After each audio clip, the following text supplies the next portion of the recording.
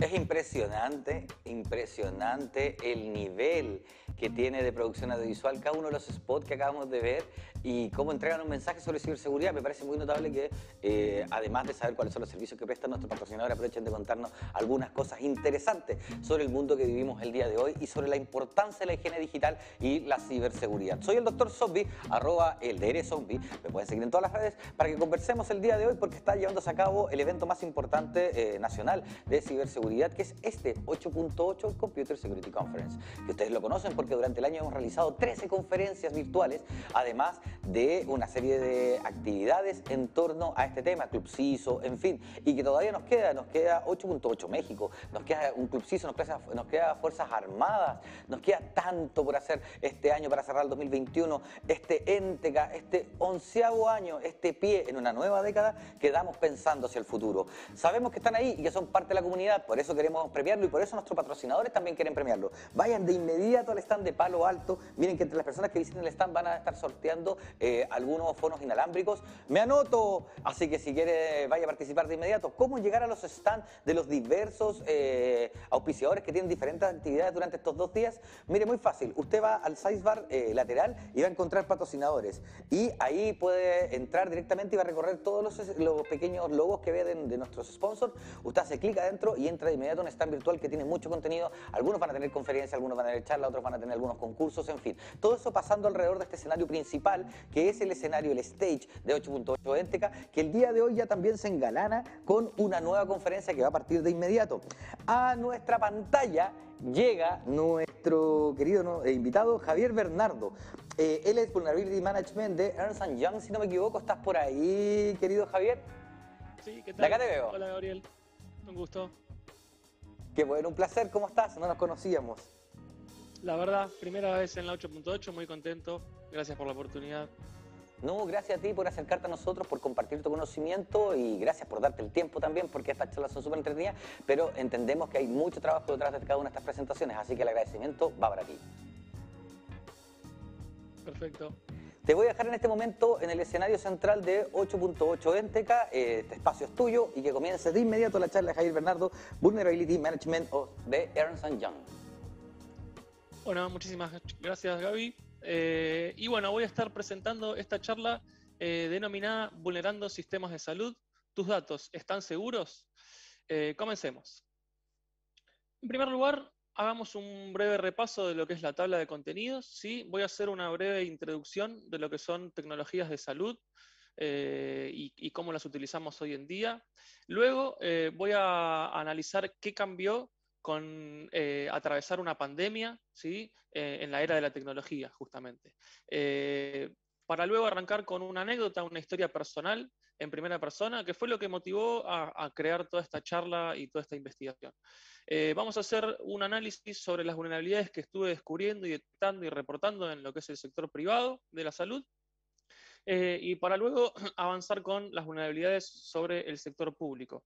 Finalmente, eh, concluyendo la charla, voy a hacer un análisis de, las posibles implicancias de si esas vulnerabilidades fueran explotadas, qué pasaría. Eh, voy a proponer lo que creo yo puede ser una buena solución o algo que pueda ayudar a la ciberseguridad en, la industria de la salud sobre el bug bounty. Eh, y bueno, armar una conclusión final sobre, sobre la ciberseguridad en las industrias de la salud en este caso. Con lo cual, bueno, avanzando con la introducción, ¿sí? podemos decir que hoy en día la tecnología aplicada a la salud es un tema de todos los días, tanto para pacientes como para profesionales. Podemos solicitar turnos, realizar videoconsultas, acceder a estudios casi en tiempo real, manipular recetas de medicamentos, etc.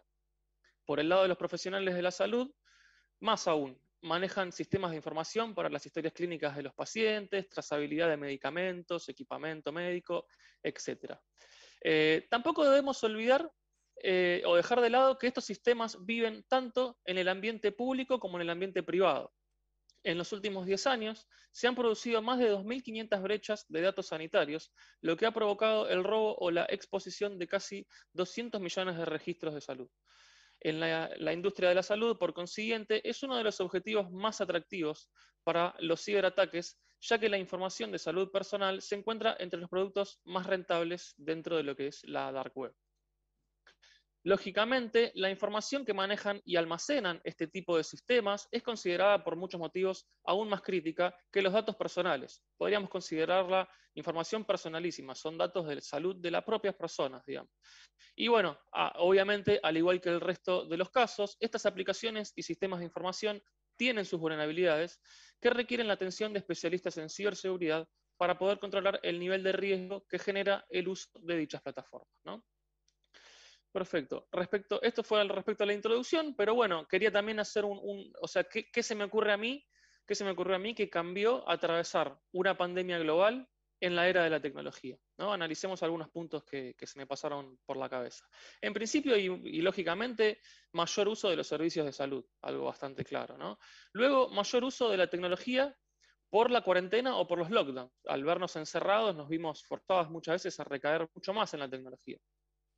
Eh, siguiendo mayor control sobre pacientes e insumos, ¿sí? las unidades de terapia intensiva, el oxígeno, las vacunas y demás, es un tema bastante eh, importante en este momento.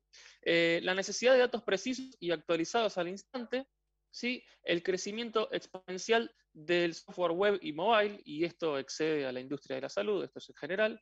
Y por último, la exposición de mayor cantidad de sistemas de salud hacia la Internet. O sea, debido a la situación de pandemia y nuevamente por los lockdowns o las cuarentenas, muchos sistemas de salud que solían estar eh, privados o que se accedían de forma presencial, hoy en día fueron expuestos hacia Internet con todos los riesgos que eso conlleva.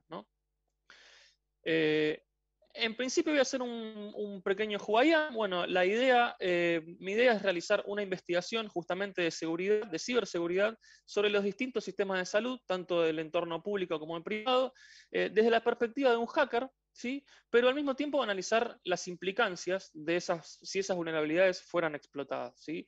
Eh, por, el contexto de pandemia y demás, me vi, eh, eh, me encontré en un efecto dominó de ir detectando y reportando vulnerabilidades en diferentes sistemas de salud, lo que, lo que terminó generando esta investigación.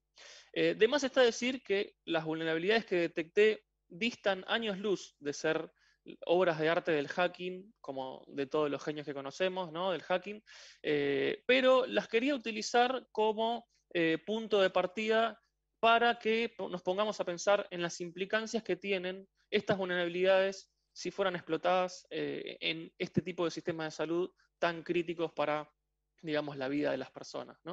y justamente también quiero aprovechar la oportunidad para comentar eh, o, tratar de ahondar un poco en lo que es este mindset del hacker. ¿no? Ahí les dejo una de nuestras frases en el mundo del bug bounty muy, muy reconocida, Eat, Sleep, Hack, Repeat, y, uno de mis, eh, digamos, de mis libros eh, favoritos de, la infancia, cómo funcionan las cosas. Y, por qué los traigo a colación? Justamente porque lo que nos mueve a nosotros, los hackers, los pentesters, es principalmente la curiosidad. ¿no? Nosotros no dejamos de hacer esto en ningún momento.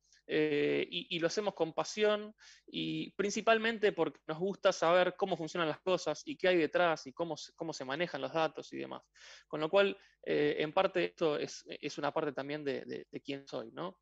Eh, bueno, hoy en día, eh, como dijo Gaby, me encuentro trabajando en el año de Vulnerability Management de Ernst Young, de EY, eh, principalmente cazando y traqueando vulnerabilidades Internet Facing en el Purple Team y haciendo DevSecOps.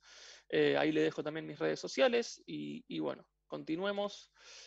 bueno, este slide es como una especie de disclaimer y al mismo tiempo manifiesto, digamos. Mi intención también con esta charla es sacarle la mala connotación a la palabra hacker, que lamentablemente hoy día aún sigue existiendo en algunos casos. Eh, y bueno, principalmente, ¿por qué nosotros hackeamos? ¿Por, qué nos gusta el hacking? El hacking es bueno y lo hacemos principalmente, como hablábamos, por el conocimiento, por diversión y para tener eh, rentabilidad legítima, ¿no? Eh, quiero aclarar que todas las vulnerabilidades que, que, vamos a ver en esta investigación fueron reportadas. algunas están resueltas, otras están en triage. Algunas vulnerabilidades no fueron validadas por los propietarios, en varias oportunidades no hubo respuesta y las vulnerabilidades lamentablemente siguen existiendo. ¿sí? Eh, y esto es algo muy importante, en ninguno de los casos las empresas u organismos afectados tienen o participan de programas de bug bounty. Me parece muy importante aclarar esto porque también es parte de la solución que voy a tratar de proponer al respecto. ¿sí? Y en este caso, lamentablemente, ninguno de estos, de bugs eh, participó de, un programa de, de bug bounty. Bueno, por último, aclarar que la palabra hack o hacking será considerada como ethical hack o ethical hacking respectivamente, y que toda la información proporcionada en este sitio es solo para fines educativos. Bueno, avancemos con los findings, con las vulnerabilidades, que es, la parte más divertida. Y bueno, para arrancar eh, con, con, las vulnerabilidades del sector privado, quería comenzar con una anécdota personal, una historia personal, que fue lo que dio el puntapié inicial para esta investigación. Un día como cualquier otro, mi compañera eh, le solicitan, como cualquiera de nosotros puede pasarles hoy en día, eh, un estudio, en este caso de imágenes, ¿sí? una, radiografía o, algo por el estilo, eh, para lo cual, como cualquiera de nosotros hoy en día, ingresó al aplicativo, al sitio web de este centro médico que queda acá cerca de nuestras casas, em, solicitó un turno, fue a hacerse el estudio, porque en este caso era un estudio presencial, ¿sí? fue a hacerse el estudio, terminado el estudio, le dieron eh, una especie de papelito impreso con, un código y le informaron que a través del mismo sistema que había solicitado el turno, iba a recibir los estudios, el, resultado de estos estudios.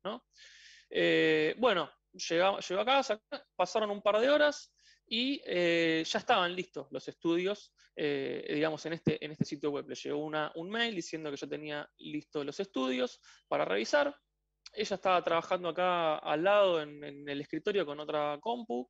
Em, lógicamente recibe un link ¿sí? Eh, con el estudio, lo abre y me lo, me lo muestra, lo tiene abierto acá en la notebook que está acá al costado. Para lo cual yo me dice, mira, qué bien, ahí ya llegó el estudio, acá tengo el link, lo pueden ver, lo podemos ver, perfecto. Y yo, bueno, yo lo que hago es, me giro así para el costado, ¿no? Para ver el monitor, y le digo, uh, y me dice, ¿Qué, qué pasó? ¿Qué, ¿Qué, estás viendo, digamos? Le digo, no, eso no qué raro eso. Me dice, ¿pero por qué? ¿Por qué, qué, qué estás mirando? ¿no? ¿Qué, es lo que ves de raro en el estudio? Y bueno, fue ahí en donde eh, me, me, ligué el primer regaño, digamos, me dijo, pero le digo, a ver, pasame el link. Y, me dice, ¿pero qué estás mirando? Por favor. Y bueno, me, retó un poco porque yo, nuevamente, en vez de estar mirando el estudio, que la verdad no, se entiende mucho lo que es ese tipo de imágenes todas grises, este, estaba mirando el link, ¿no? Claramente, lo primero que miramos los, hackers y demás. Entonces, bueno, me, me, ligué un regaño por parte de ella, pero por estar mirando al lugar equivocado, digamos. Eh, pero bueno, en parte es, una anécdota graciosa justamente de lo que es este hacker mindset, de, estar haciéndolo constantemente aún sin incluso darnos cuenta. Para lo cual le digo, bueno, a ver, copiame el link, pasámelo. Eh, y bueno, como haríamos hoy en día cualquiera de nosotros, eh, me lo pasa por WhatsApp. Eh, y yo tenía abierto el web WhatsApp acá en, mi notebook del trabajo. Accedo a ese link, que lo, tienen ahí pegado abajo en pantalla, está redactado obviamente, porque está todavía en, en, en remediación. Este, y bueno, como pueden ver ahí, es, un sitio web que, tiene los datos del estudio y demás. Y bueno, recibido ese link, hago clic en el, vínculo mm, a través del WhatsApp y ¿qué es lo primero que me encuentro? Nuestro primer finding de hoy, en la primera vulnerabilidad, un Broken Access Control, uno dentro de los WASP Top 10, todavía sigue estando, quizás le están por cambiar el nombre, pero Broken Access Control, ¿qué vendría a ser? Un control de acceso que no funcionó. Técnicamente, en este caso, yo pude acceder solo con, tener el link a los estudios de ella, ¿sí? sin ningún tipo de credencial, control de acceso ni demás. Y ahí pueden ver en pantalla los resultados del estudio. La aplicación de imágenes es bastante completa, sirve también para profesionales, como pueden ver. Eh, pero bueno, esto fue, digamos, el primer finding. Digo, upa, acá nos encontramos algo que está expuesto, que no tiene un control de acceso. Este, y bueno, eh, fue lo que empecemos a avanzar, a ver qué nos encontramos, ¿no? Este, en el mundo del bug bounty, en el mundo del hacking, siempre encontramos un broken access control, lo segundo que se nos viene a la cabeza es un IDOR, ¿sí? en este caso podríamos decir posible IDOR. ¿Qué es un IDOR? Un Insecure Direct Object Reference, ¿sí? Y es una vulnerabilidad bastante conocida que lo que, lo que eh, digamos, aprovechándose de un Broken Access Control, lo que se podría hacer en este caso sería ir modificando el, eh, número del estudio quizás o el, nombre, el número de paciente eh, con, diferentes strings para lograr acceder a los estudios de otros pacientes, que sería como avanzar un paso más en este caso. Eh, caso complejo, lo denominé en este caso, porque como pueden ver ahí marcado en rojo, eh, eh, es un string, digamos, el de estudio, que tiene un montón de caracteres y, diferentes patrones. ¿no? Eh, no es, en este caso, lamentablemente, un string numérico del tipo 1, 2, 3, en donde uno puede ir iterando muy sencillamente para ver si llegamos a otros estudios. Con lo cual podríamos decir, es un caso complejo para explotar el IDOR, no participaba del programa de Back Bounty, no le dediqué por ahora más tiempo. habría que encontrar el patrón, y por lo que se ve es un patrón bastante intricado, ¿no? Y acá yo poco a poco en la investigación voy a ir metiendo algunos tips para gente que hace back bounty, eh, que me parecen eh, interesantes también para, para, ver la parte técnica ¿no? del asunto. Y me pregunté, ¿será un error de implementación de un centro médico solo o será un error del aplicativo, ¿no? A veces, muchas veces nos encontramos que el error está en cómo el, que está consumiendo ese aplicativo, el que está comprándola o implementándola, en cómo lo, configuró, cómo lo implementó. Entonces puede ser que ese centro médico lo haya hecho mal, pero que la, aplicación no tenga un bug en este caso, ¿no? Entonces dije, bueno, otro, busquemos otro método para ver si es un tema del centro médico o en general. Y dije en este caso, ¿qué tal si lo dorqueamos? ¿no? Eh, ¿Qué es un dork? ¿Sí? O en este caso, un Google Dork. Eh, un Google Dork es simple, lisa y llanamente un string de búsqueda que se puede colocar dentro de Google y lo cual nos permite llegar a acceder a información que está ya indexada o ya siendo indexada por Google, eh, digamos un mega motor de búsqueda, obviamente.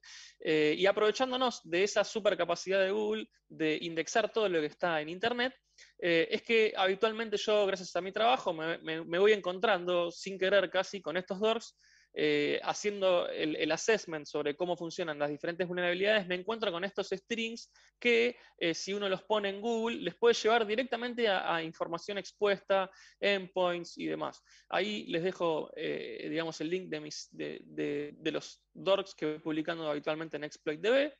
Y bueno, lo que hice técnicamente en este caso fue construir un dork, como pueden ver ahí arriba, eh, aprovechándome de que tenía una URL, ¿no? la primera URL del estudio.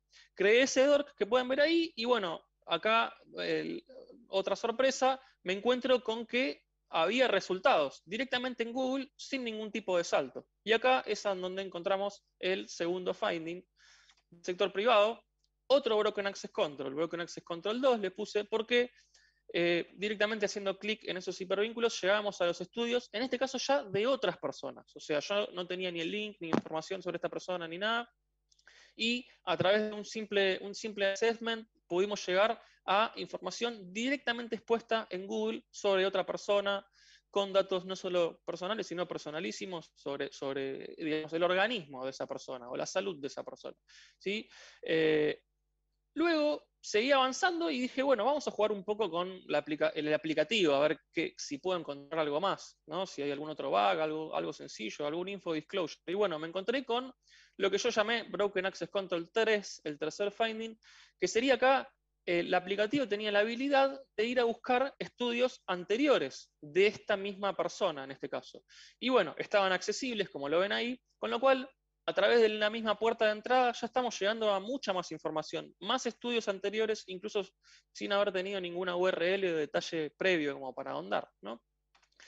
Eh, luego acá, bueno, voy a dejar otro tip más de Bug Bounty. ¿sí? Lo que hice es, eh, dije, bueno, ya que tengo el, título, el nombre de la aplicación, también puedo llegar a ver, como, a nosotros nos queda, el IDOR siempre nos queda picando en la cabeza, dije, necesito más URLs. Entonces, eh, a través del título de la aplicación, lo que hice fue crear otro dork eh, para ver si hay otros, otros médicos que tenían esta aplicación expuesta.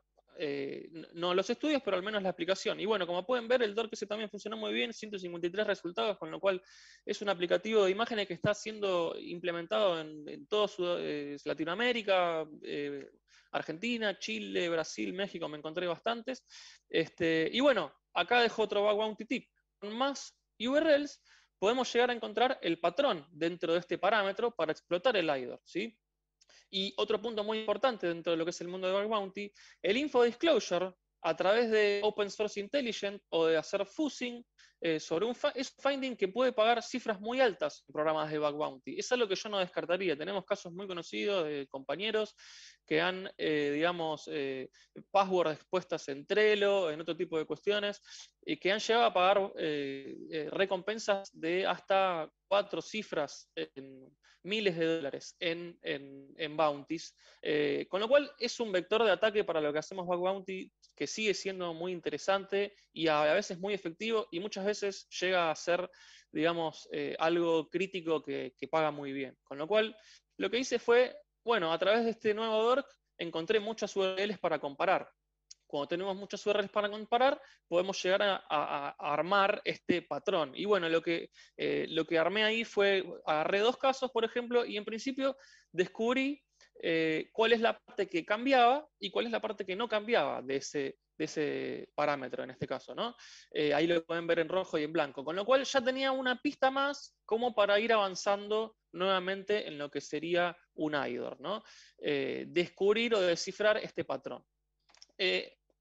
por lo pronto el tema IDOR lo dejé en pausa, por, nuevamente porque no tenía ningún, ningún bounty por detrás, pero quería marcar todos los datos personales además de los de salud que se pudieron, se podían haber exfiltrado a través de estas vulnerabilidades, de estas vulnerabilidades. Como pueden ver ahí, no solamente se contaba con imágenes, de, o sea, estudios médicos en este caso, sino que además los estudios médicos generalmente vienen con solicitudes de los médicos y mucha información personal. Como pueden ver ahí, ya estábamos llegando a los informes, a donde había, lógicamente, nombres, apellidos, documentos de identidad, root, eh, direcciones, fechas de nacimiento, eh, números de celular, un montón de información relativa al paciente, ¿no? Lógicamente. Acá podemos ver otro screen con diferentes tipos de estudios eh, y con toda la información, no solo personal, como pueden ver ahí que está grisada, pero además información personalísima sobre esa persona, sobre su estado de salud y sus, y sus detalles, ¿no? que, que, me parece el punto más crítico en este caso, firmas hológrafas, un montón de otras cosas interesantes para que también estén en el mundo de Open Source Intelligence. Con lo cual, llegando al final de este finding en particular, al comprobar que la vulnerabilidad existe en varios sistemas distintos, se hizo evidente que eh, la aplicación tenía el bug, ¿no? No era una cuestión del centro médico. Eh, al no participar del programa de bug bounty, en este caso tuve que hacer un poco de inteligencia para llegar a la empresa y a una persona de IT de esa empresa, eh, a la cual poder reportarle de forma ética los descubrimientos. Si el caso fue reportado al propietario, y desarrollador del código, la vulnerabilidad fue validada por parte de la empresa, con lo cual es un válido, es un triage, eh, es buena onda eso, y está en proceso de ser remediada, por suerte, en este caso. Con lo cual, por suerte, en este caso fue bien recibida eh, y le dieron el correspondiente tratamiento. ¿no? Luego, al, enterarse de compañeros de ciberseguridad, digamos, de trabajo y otras personas que estaban haciendo este tipo de investigación, me dijeron, bueno, eh, como lo puse acá, mismo método, otra aplicación, otro sistema de imágenes de otro centro médico, misma historia.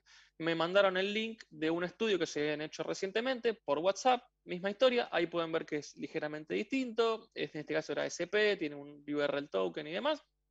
Con lo cual dije, bueno, probamos la misma, el mismo método y creé un DORC contra ese nueva URL y, o casualidad, mismo, eh, digamos, misma vulnerabilidades y mismos findings. Eh, otro Broken Access Control de otro sistema de imágenes que pueden ver ahí, eh, digamos, con, detalles personales y, de salud de personas, solamente con, crear, digamos, este, este, especie de string que, descubre eh, estas vulnerabilidades.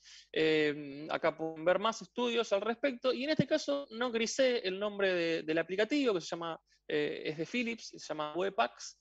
Eh, ¿Por qué? Porque al poco tiempo de empezar a encontrar estos, estas vulnerabilidades y querer incluso reportarlas, lógicamente, eh, encontré una noticia en, Hacker News, como pueden ver ahí, que se estaban reportando un montón de vulnerabilidades críticas alrededor de Philips Webpax como, como sistema médico. Y además ahí también despego el advisory que mandó el CISA de Estados Unidos a todos los centros médicos un, advisory médico de alta criticidad eh, relativo a todas estas vulnerabilidades que existían en este sistema, básicamente.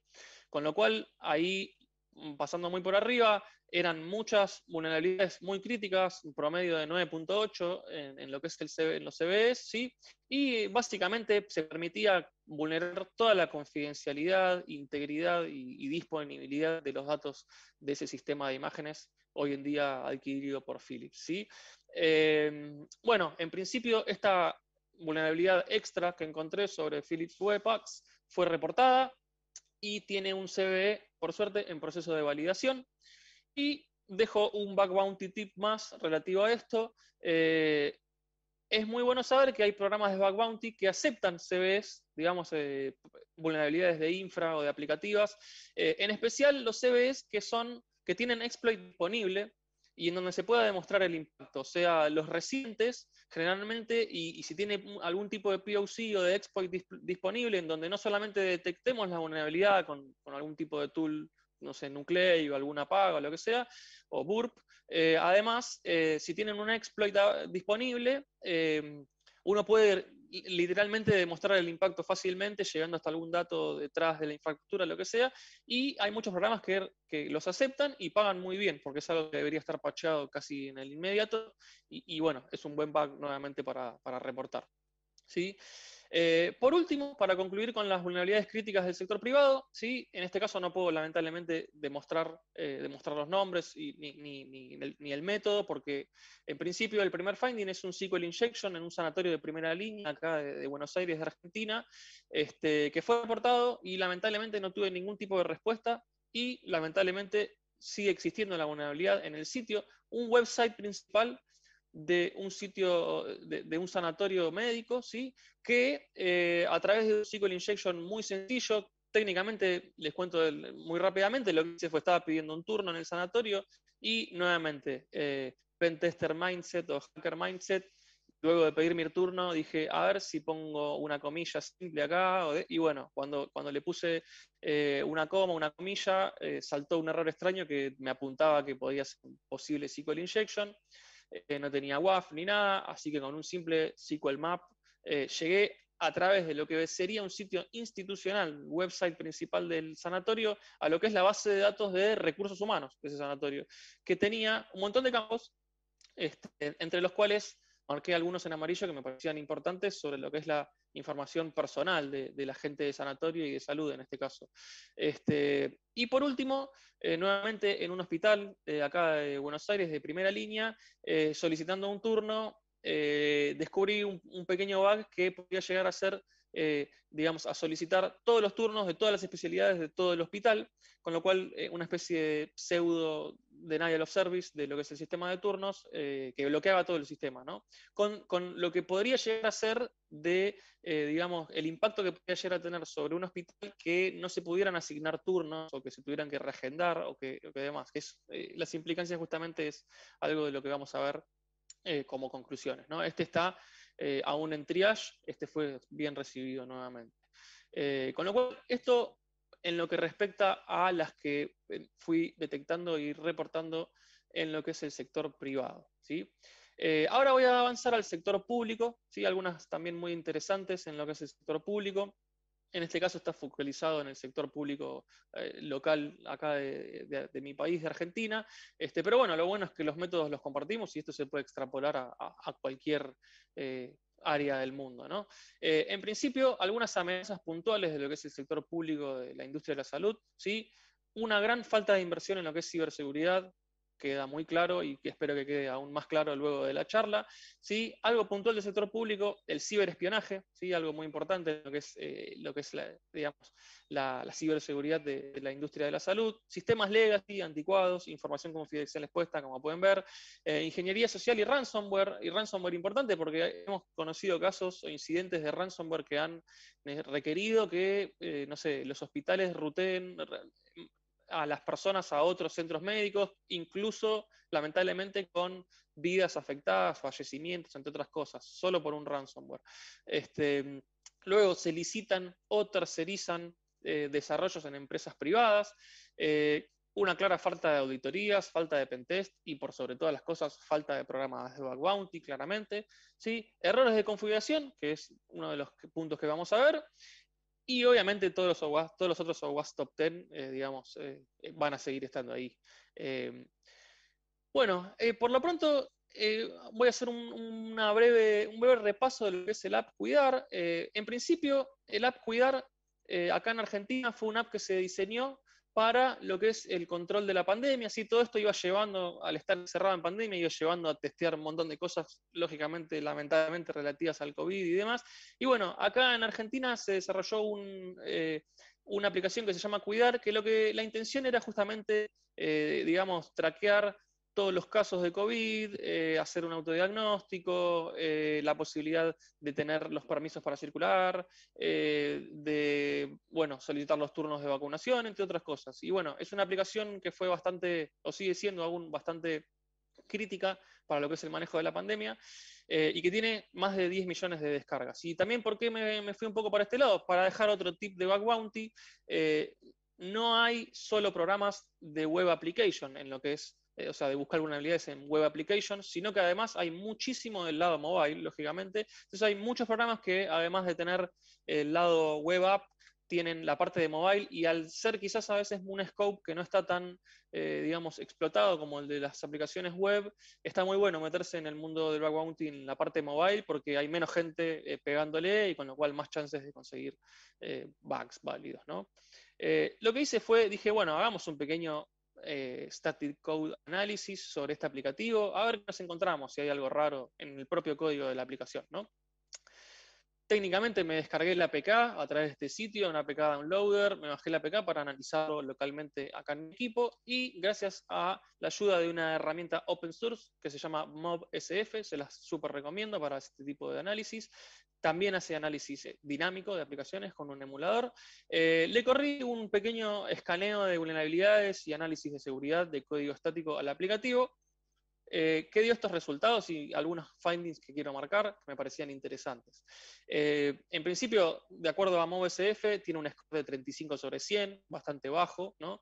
Este, y bueno, algunas vulnerabilidades importantes en lo que es mobile, en principio, y la más importante, la, la, aplicación es o era, podríamos decir, vulnerable a Janus, ¿sí? una vulnerabilidad muy conocida en Android por, utilizar unas, unas signature viejas, digamos, y que permitirían, eh, digamos, a esa aplicación o a otras aplicaciones maliciosas tomar control de todo el dispositivo.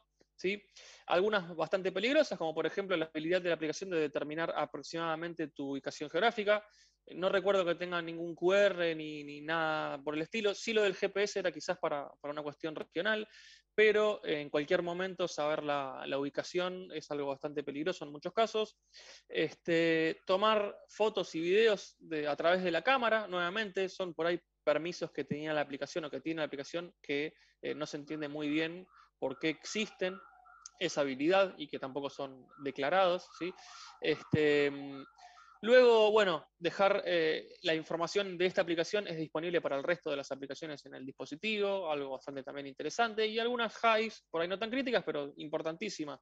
Está logueando información que no debería ser logueada, tiene un random number generator inseguro, usa MD5, ya un algoritmo descifrado bueno, de, hashing bastante anticuado, si digamos, obsoleto.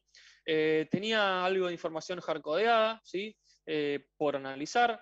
Em, y además la habilidad de leer y escribir en el external storage en este caso. ¿sí? Eh, y bueno, un último, una última mención, toda, todo este aplicativo y toda la información está hosteada en Amazon Estados Unidos. Me pareció también importante marcarlo, ya sea para esta aplicación de Argentina, de Chile, de cualquier país. Eh, hay también una cuestión de, digamos, eh, digamos, patrimonio o decir límites fronterizos en donde está la información y en este caso este, quizás por una cuestión de velocidad y demás, está hosteada en otro país y no en lo que es la infraestructura de salud eh, de Argentina en este caso, y es un punto importante también creo para aclarar. Eh, con lo cual, bueno, esto es un pequeño análisis como para dejar una punta abierta de los que les guste eh, el, análisis mobile, digamos, y, algunos tools y tips. después avanzando, quería mostrar un caso bastante eh, sencillo que acá en Argentina fue, eh, se, hizo bastante conocido, por suerte se arregló bastante rápido. Una persona ah, conocida, amigo de la comunidad, ¿sí? Eh, que empezó a pasar? Se empezaron a ver estudios PCR, ¿no? Para saber si uno era positivo o negativo para COVID. para lo cual, igual que todo, nos envían un link en donde podemos acceder a los resultados. ¿sí?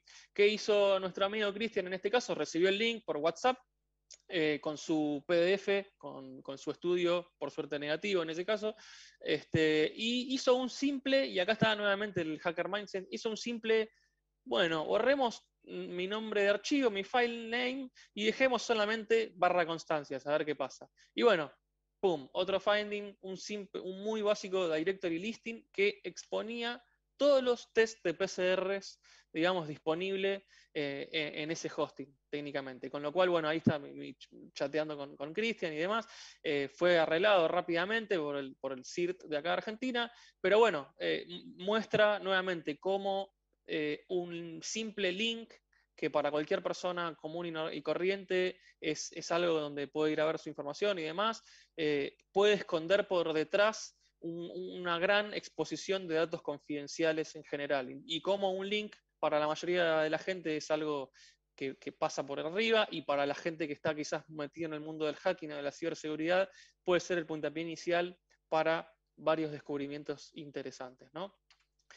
Y bueno, vamos a ir al último finding de lo que es el entorno público. ¿sí? Em, en este caso, eh, nuevamente anécdota, haciendo un poco de threat modeling, modelado de amenazas, por, cuestiones de mi trabajo, ¿sí? estaba tratando de crear eh, una especie de script que, eh, digamos, utilice un poco de Open Source Intelligence, en este caso el API de Shodan, ¿sí? bastante conocido por todos, un buscador de cosas, de, IPs expuestas a Internet y de servicios expuestos a Internet, y sumar un poco de automation a través de un script para tener una alerta continua de ciberamenazas en este caso. Y puntualmente, en este caso, apuntando a demons de Docker, ¿sí? que es una superficie de ataque bastante peligrosa, por decirlo de una forma. Con lo cual, en principio, acá otro tip.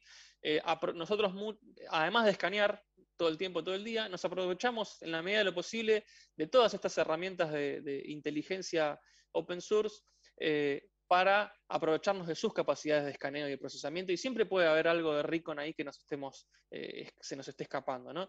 Con lo cual, bueno, estuvimos viendo unas charlas súper interesantes y completas sobre lo que es Docker, Kubernetes y demás. Hago una mención eh, bastante por arriba. Sí, Docker es una plataforma open source desarrollada para, digamos, diseñar y desplegar aplicaciones eh, y hacerlas independientes de la infraestructura. Básicamente, la idea de Docker es que se puedan correr en cualquier infraestructura, cualquier cloud. ¿sí? Eh, permite aislar el aplicativo de lo que es la, infra. ¿sí? Y está compuesto por un daemon, un engine daemon, una REST API y una command line interface. En este caso, la superficie de ataque que nosotros estamos queriendo analizar en el trabajo era eh, el Docker daemon, que corre en el puerto 2375 TCP ¿sí? Y bueno, ¿por qué? Porque el Docker Daemon presenta la mayor superficie de ataque. Obtener el control del daemon proporciona acceso directo al host y a todos sus containers. Eh, el Docker Daemon generalmente se ejecuta como root, por eso también no queríamos encontrar ningún puerto abierto con esto, eh, digamos, en nuestro scope que estamos cuidando, eh, salvo que esté configurado en rootless mode, algo bastante raro. y después, el Docker Daemon admite un socket TCP que permite el control remoto. Si se habilita esta función, se, tienes una comunicación no cifrada y sin autenticación con el Docker Daemon. Por lo cual, eh, para nosotros era algo que no queríamos dejar de estar revisando y tener una alerta continua sobre si algún desarrollador, eh, digamos, se le escapaba a dejar eh, el API o algún agente de provisioning, el API de Docker abierto, ¿no? o el, el daemon en este caso. Ahí les dejo un link sobre lo WASP relativo a la seguridad sobre Docker, tiene una super sección relativa a esa, y ahí un pantallazo sobre eso, lo que son todas las amenazas de lo que es Docker en particular, y pueden ver que es tienen todos los hermosos colores del arco iris en lo que respecta a vulnerabilidades, container escape, escala de, privilegios y demás. Eh, lo dejo para que lo vean puntualmente. Eh, pero bueno, vamos al finding en particular. ¿Qué fue lo que hice? En principio, lo que hice fue buscar eh, a través del API de Shodan puertos 2375 abiertos, simple, ¿sí? Arrojó en un principio 150.000 IPs, ¿sí? De esas 150.000 IPs, 1000 logré identificar, de acuerdo al Banner Grabbing, un poco de enumeration, que eran específicamente Docker Demons, lo cual bastante sorprendente, sigue habiendo un montón ahí para, si quieren investigar, este, y de los cuales dije, bueno, voy a hacer un estudio local eh, en este caso de mi país, a ver qué, con qué me encontraba acá local, por ahí, digamos, cerca, digamos, de alguna forma. Bueno, de esas mil IPs Docker expuestas, eh, solo dos eran en ese momento de Argentina, y de las cuales, de esas dos, una es, era esta que están viendo acá en pantalla. ¿sí? Que, ¿Por qué me llamó la atención? Además de, como pueden ver ahí, tenía el, Docker Daemon expuesto directamente hacia Internet. Eh, tenía otros dos puertos eh, para investigar. Y bueno, más puertos, más diversión. Vamos a browsearlos, a ver qué nos encontramos. Y bueno, browseé el 10443, como pueden ver ahí, y me encontré con este especie de reporte de informes médicos, con un login form ahí, monitoreo COVID. Parecía, como que de alguna, otra, de alguna manera todo me iba llevando a ver cosas dentro de la salud y lo que es eh, la pandemia y demás. Con lo cual dije, bueno, tenemos esto, qué raro, reporte de informes médicos, login page. Eh, veamos qué hay en el otro puerto, en el 12443. Eh, y acá me encontré una aplicación de lo que es nuestro Ministerio de Salud. Ya tenía algo de, logos ahí del Ministerio de Salud, nuestro escudo, eh, y, decía, bueno, otro login form con más detalles. Pero bueno, dije, momento, Ministerio de Salud, esto puede ser algo importante, tiene un Docker expuesto, puede ser algo interesante para investigar, reportar y, obviamente que solucionen, ¿no? Dije, bueno, vamos a hacer un poco nuevamente OSINT, a ver con qué nos encontramos dentro del Ministerio de Salud y su infraestructura. Y lo que dice, bueno, nuestro dominio del Ministerio de Salud es msal.gov.ar, ¿sí? y utilizando esta bastante muy famosa, ya conocida herramienta Subfinder, eh, es una herramienta que nos permite hacer recon de, y detectar subdominios bajo un dominio eh, en diferentes fuentes eh, dentro de lo que es Internet. ¿sí? Entonces hice un simple comando, Subfinder, a ese dominio del Ministerio de Salud, mandando el output a un file, ¿sí? Y me encontré con que había 117 subdominios dentro de ese dominio. Eh, para lo cual dije, bueno, vamos a ver de todos esos subdominios si hay algún subdominio que me llame la atención o que se pueda conectar de alguna forma con este finding que tenía un Docker expuesto, abierto, a ver qué pasa, ¿no? Y bueno, eh, dado que decía reporte de camas, hice un simple grep a camas y me encontré con esos, con esos que pueden ver ahí. Entonces encontré uno que decía justamente reporte de camas.cisa.emsal.com.ar. Dije, bien, veamos qué hay atrás, browsémoslos a ver qué nos encontramos. Y, o casualidad, no, me encontré con exactamente el mismo sitio que está, digamos, que está eh, en, la otra IP expuesto, con el, con el Docker API expuesto. Dije, bueno, perfecto, acá hay un match, tenemos la conexión entre las dos puntas. Claramente esto es algo pareciera ser oficial, y eh, importante, ¿no? Claramente. Y dije, bueno, investiguemos un poco más, a ver de dónde sale esta app y demás. Y en este caso, rápidamente eh, llegué a que Globant, una empresa acá bastante conocida de Argentina y en el mundo hoy en día, desarrolló un tablero de control interactivo para ayudar a combatir el COVID, en este caso. Eh, y ahí la herramienta permite traquear en tiempo real la cantidad de camas de terapia intensiva, respiradores, profesionales de salud y recursos disponibles en cada hospital de nuestro territorio. Si ahí les dejo el link, salió también en La Nación, uno de nuestros diarios principales de acá de Argentina. Eh, y bueno, y ahí encontré el comunicado oficial dentro de lo que es el, sitio oficial del gobierno argentino, en donde exponían este, este, desarrollo de Globant, ¿sí? implementado en 1.400 centros de salud dentro de todo nuestro territorio. Y como les decía, reporta algo bastante importante cuántas camas de terapia intensiva eh, hay eh, disponibles, cuántos respiradores, cuántos, eh, cómo está el oxígeno, los insumos, las piezas faltantes, diferentes equipos y demás. Con lo cual, en, lo que era, por suerte, toquemos madera, el, pico de la pandemia fue y sigue siendo una herramienta bastante, digamos, crítica del manejo de la pandemia para, en este caso, el gobierno, nuestro gobierno nacional. Con lo cual dije, bueno, Impacto, demostremos el impacto. En el mundo del back bounty siempre nos dicen todo muy lindo si hay habilidades, pero si uno puede demostrar el impacto, muchísimo mejor. Es ahí donde está, digamos, la rentabilidad. Eh, y dije, bueno, vamos a molestar un poco a ese, a ese Docker Daemon a ver qué nos, qué nos encontramos. Y un simple comando de Docker para traer, listar qué containers están corriendo dentro de ese, de ese Docker, básicamente. ¿sí? Y le hice un grep a COVID en este caso, había muchos otros más, y ahí los pueden ver en pantalla, eh, todos los containers que estaban corriendo en ese Docker API eh, en ese momento cuando realicé la investigación. Eh, y bueno, pueden ver que en ese Harvest encontré un frontend, ¿no? un backend, un chatbot, un backend para métricas de la API y un frontend de reporting. ¿sí? Pero eso en lo que respecta a el source code, ¿sí? Los containers propiamente dicho. Además, estaban, y para que vean también eh, digamos, el impacto que puede tener un, Docker Daemon expuesto, estaban las bases de datos de todas estas aplicaciones, que, bueno, ahora vamos a analizar qué pasó.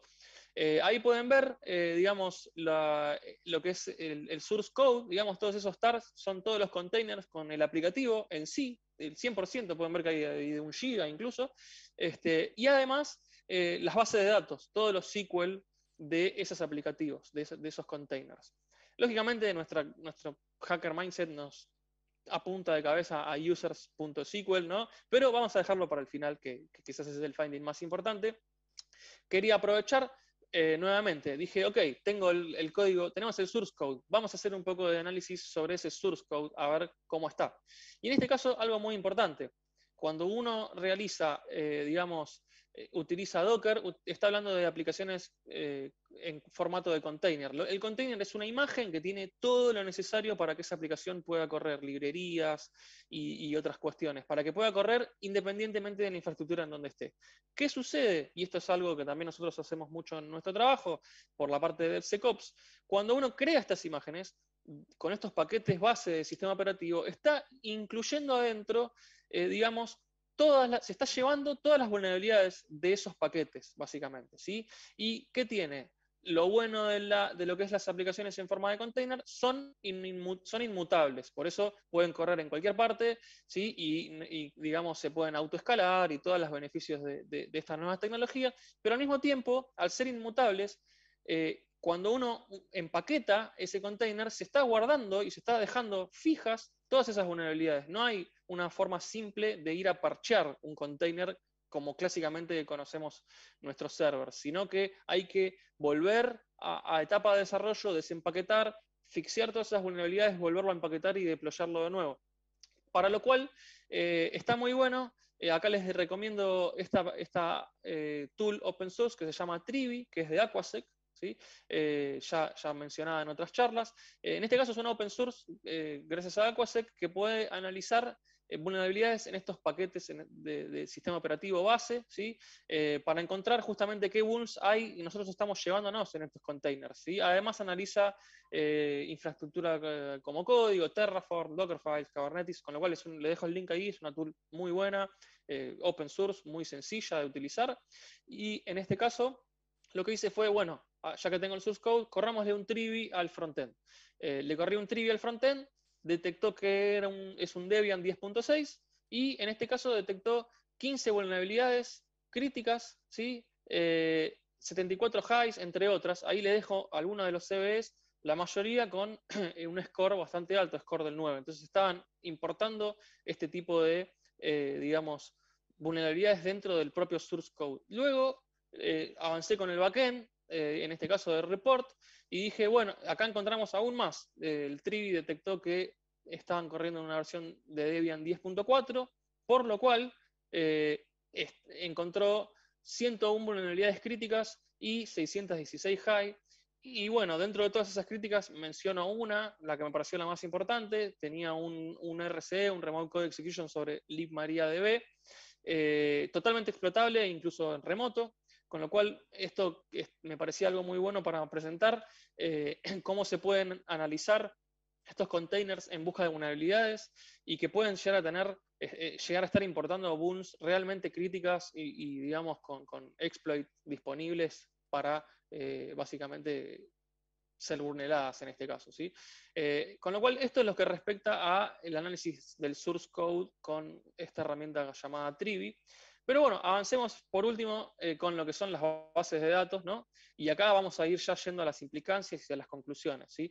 En primero, la base de datos DB Reports que encontré, eh, puse todos los campos que tenía esa base de datos, pero además eh, marqué en amarillo los que me parecían súper importantes. Por ejemplo, respiradores, cuántos respiradores alocados había, cuántas camas de terapia intensiva, cuántos muertos, adultos y niños, digamos, los desfibriladores disponibles, los monitores, los filtros de aire, cuánto oxígeno, cuántas bombas. Con lo cual, podemos ver que realmente esta información súper crítica este, e, es información súper crítica, principalmente para el manejo de pandemia, saber este tipo de información. ¿no? Este, luego me encontré con otra base que se llama Admin Report, en donde descubrí que además de todo, eh, de todos estos exposures, estaba eh, expuesto, eh, se estaba comunicando con un bucket S3 de Amazon, ¿sí? con lo cual dije, bueno, hay más información aún por encontrar, veamos cómo puedo explotar, o sea, si puedo llegar a, a, Tenía ahí muchos links de los CSV, de estos reportes, quiero ver si hay más. Y acá les dejo otro último tip de lo que es Bug Bounty, eh, cómo se me ocurrió a mí que podemos fusear un eh, Amazon S3 en este caso. ¿sí? Lo que hice fue, en principio, traerme con un grep todos los, todos las URLs, ¿sí? Eh, las mandé un file, me descargué todos esos CSV para, para, analizarlos, digamos, y para hacer el harvest. Después, analizando la URL, nuevamente descubrí en dónde estaban los puntos en donde yo tenía que iterar para, ver si llegaba otra información. ¿sí? Eh, en primer lugar, con Crunch, muy sencillamente, en Linux hice eh, un par de word lists adaptadas a lo que yo necesitaba. ¿sí? Este, y después con eh, FFUF, que es una, nuestra tool, digamos, favorita hoy en día para lo que es el mundo de Bug Bounty, para fusear, Em, está hecha en Go y, vuela, la verdad que corre a una velocidad increíble.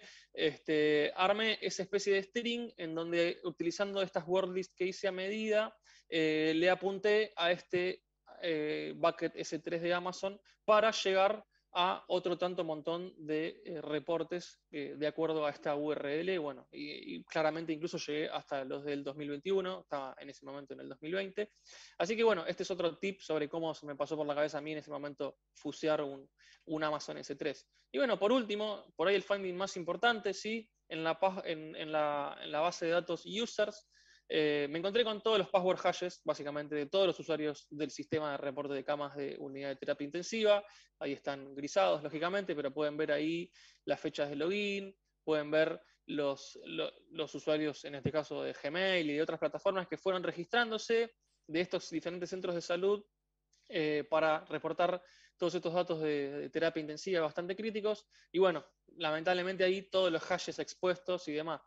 Con lo cual, para concluir, en esta base de datos de, users eh, a, modo de harvest estaban todos los password hashes, eh, bueno, cuándo fueron creados los usuarios, los emails, las passwords, eh, el último login, y del último login pude ver que además la fecha era reciente, ¿sí? con lo cual era, era un finding caliente en ese momento.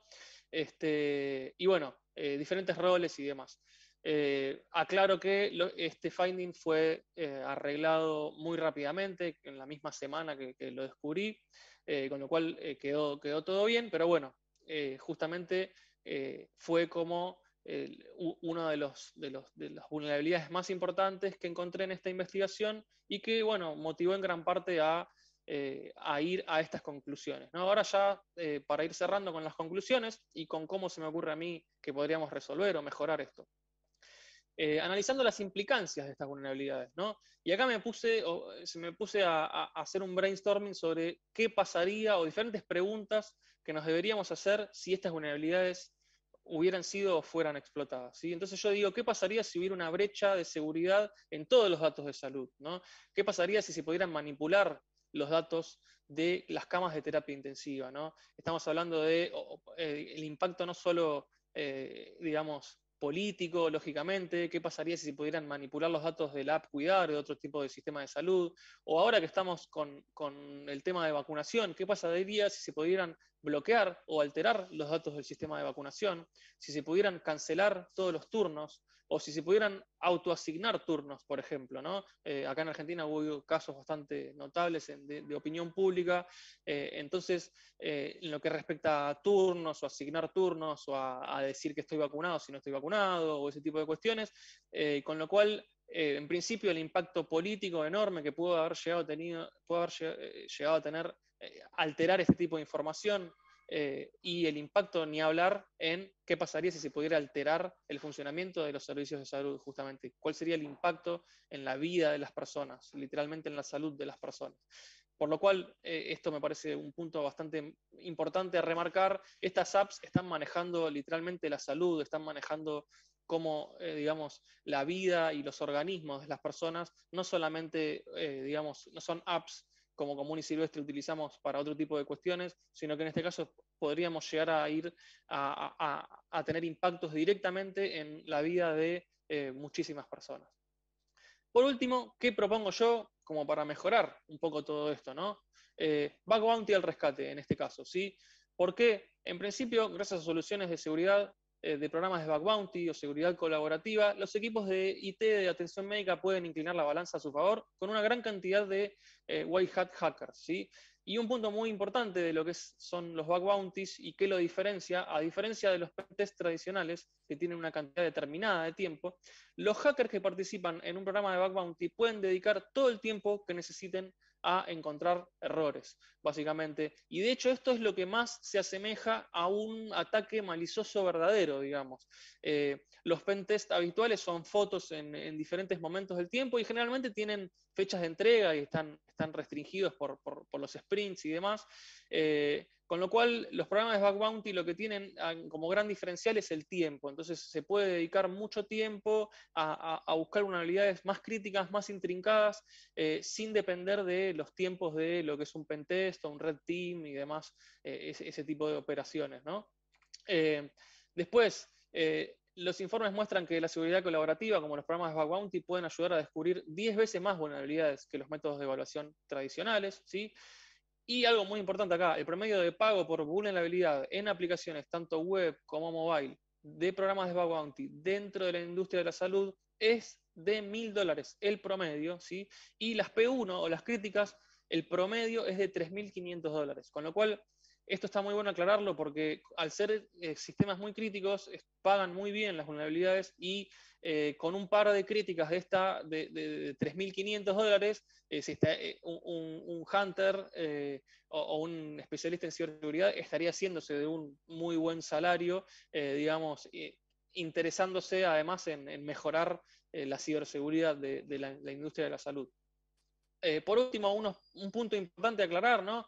Eh, todo lo que es la industria de la salud está regulado por HIPAA, eh, un, estándar de salud, y, lo que quería aclarar en respecto a Bug Bounty y HIPAA es que, lógicamente, la y esto ya es para la industria de la salud, deberían tener ambientes aislados para poder hacer el pentesting. No sería para nada prudente que los, eh, los, bounty hunters o los hackers se pusieran a romper o a pegarle a sistemas que están directamente relacionados con la salud de las personas, sino que, eh, digamos, en este caso, las empresas de salud deberían proporcionar de sistemas aislados para poder testearlos con, con seguridad. Y algo muy importante también eh, respecto a lo que es los presupuestos y demás, por ahí el manejo de reportes iniciales, la cantidad de reportes iniciales que llegan o de falsos positivos, sí, se puede tranquilamente contratar los servicios de triage de, las, digamos, de las empresas ya reconocidas de programas de Back Bounty, que van a encargarse justamente de atajar todos estos reportes, filtrar los falsos positivos y demás. Con lo cual es algo también para tener en cuenta. Otra recomendación para la industria de la salud, iniciar con un BDP, Vulnerability Disclosure Program, eh, o un programa privado. Técnicamente los BDPs eh, no pagan bounties, es, eh, lo haces por, se hace por los puntos, digamos, este, o por el reconocimiento, y eh, es una muy buena forma, hay BDPs muy conocidos, Departamento de Defensa de Justicia de Estados Unidos tiene uno, y bueno, es, una especie de track en donde los que recién se inician, o los que están practicando, los que quieren mejorar, pueden ponerse a hackear con permiso, digamos, digamos con, toda, todo por derecha, y encontrar vulnerabilidades que ayudan a mejorar eh, este tipo de, industrias. O al menos arrancar con un programa privado, ¿no? Para que no sea tan eh, multitudinario ni, tan eh, performante en este caso. ¿sí? por último, tabla de pagos atractiva, ¿no? Lógicamente, mientras mejor sea la tabla de pagos, motiva mucho más a los hackers a dedicar más tiempo. Si hablamos de que una P1 puede pagar 3.500, 5.000 dólares, bueno, eh, en busca de esa, de esa paga, eh, sí me puedo quedar tranquilo de que le estoy dedicando el tiempo a algo que puede llegar a, ser retribuido de muy buena manera. ¿no? Toda actividad white hat o de bug bounty es y será claramente una pieza indispensable, muy valorable humanitariamente, ¿no? porque estamos hablando de la salud en este caso. ¿sí?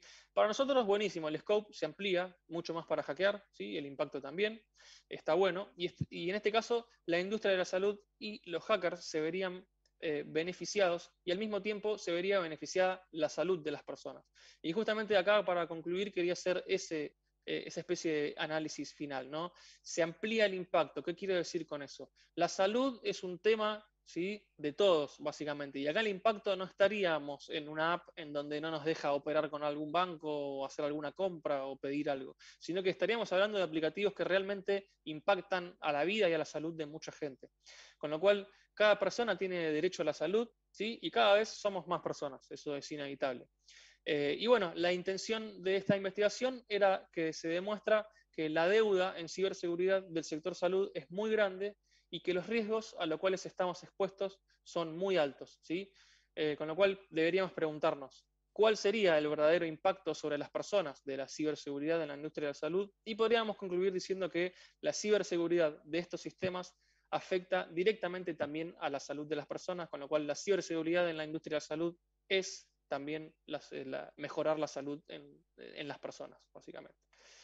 Con lo cual, bueno, muchísimas gracias. Acá termina la presentación. Quedo abierto a preguntas. Gracias. Eh, gracias, gracias Javier. Te pasaste. las próximas. Sí, nosotros también esperamos contar contigo en la versión presencial. Lamentablemente estamos súper pasado de tiempo y vamos a tener que dejar las preguntas para otro momento o a través de tus redes. ¿Cómo te ubica la gente? Arroba. Arroba Javo Bernardo en Twitter. Me van a encontrar. Estoy ando siempre por ahí.